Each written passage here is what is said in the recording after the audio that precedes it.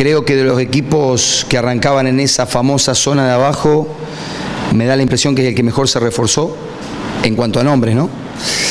De, antemano y bueno, por ahí no venía con buenos resultados el, el, último contra América fue muy bueno, así que seguramente vienen con el estado de ánimo muy arriba, pero no más que nosotros.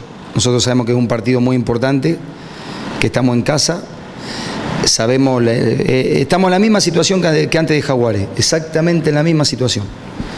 Eh, y nosotros sabemos que acá en casa, en tanto y en cuanto sigamos sumando como esperamos, vamos a estar cerca del objetivo final. Profesor, ¿podría describir también cómo ha sido esa preparación durante esta semana para superar lo que sucedió y de cara al partido propio contra Deportivo Pasto? ¿Cómo ha sido el entrenamiento del equipo durante esta semana para que la sociedad lo conozca? No, no, muy bien, muy bien. Los jugadores ya el lunes cambiamos el chip.